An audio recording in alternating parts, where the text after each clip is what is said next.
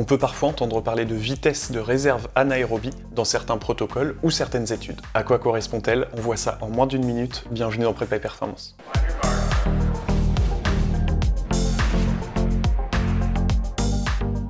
La vitesse de réserve anaérobie est l'une des trois réserves de vitesse. Il existe également la réserve de vitesse aérobie et la vitesse de réserve totale. C'est une valeur intéressante à prendre en compte car elle témoigne des capacités de l'athlète au-dessus de son VO2 max elle équivaut à l'amplitude entre la VVO2 max et la vitesse maximale. En clair, entre notre VMA et notre vitesse atteinte lors d'un sprint. Elle se calcule en soustrayant la VMA à la vitesse maximale de course. Celle-ci va nous permettre de mieux calibrer et quantifier le travail intermittent.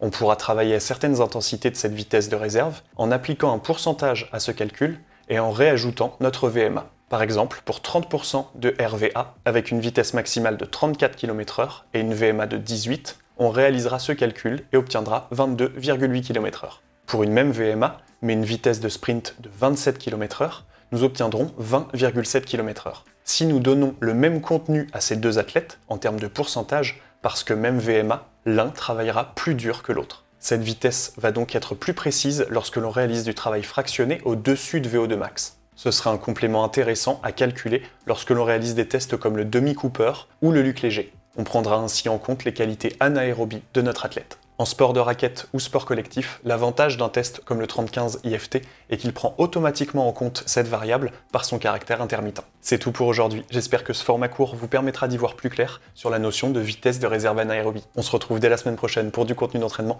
et d'ici là, entraînez-vous bien. Salut